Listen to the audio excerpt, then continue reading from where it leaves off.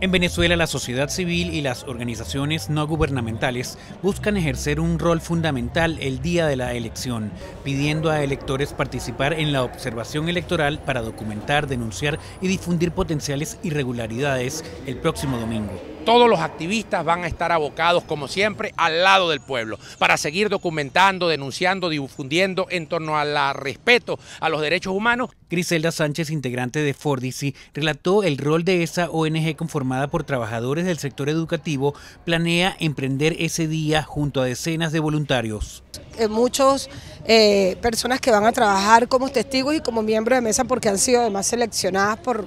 por los organismos del Cuerpo Nacional Electoral.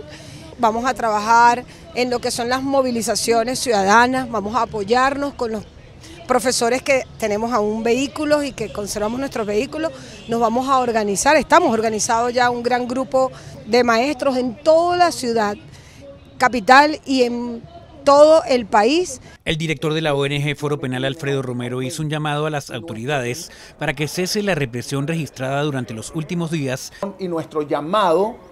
al gobierno nacional y las autoridades es que pare la represión, y que permitan una elección libre. Con la finalidad de reforzar la labor durante ese día, el grupo de organizaciones pidieron al alto comisionado de la ONU para los Derechos Humanos, Volker Tork, que haga un monitoreo, así como un acompañamiento a los ciudadanos en el proceso electoral del próximo 28 de julio, en el que se elegirá al próximo presidente venezolano. Álvaro Algarra, Voce América, Caracas.